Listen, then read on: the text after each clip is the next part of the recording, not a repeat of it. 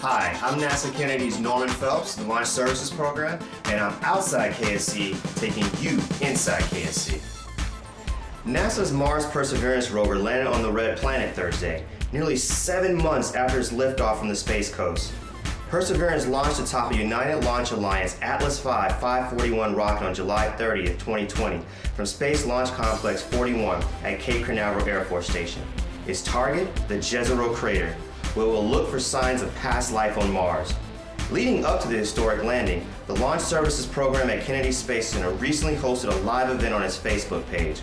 LSP Launch Director Tim Dunn and Dylan Rice, launch conductor with United Launch Alliance, shared their thoughts about the launch, the LSP ULA partnership, and their hopes for the rover's mission on the Red Planet.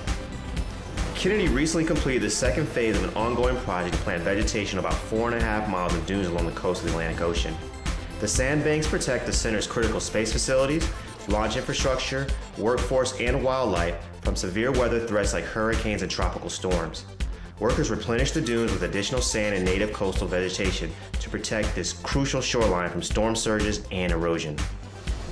For more Inside KSC, check us out on social media and at nasa.gov/kennedy.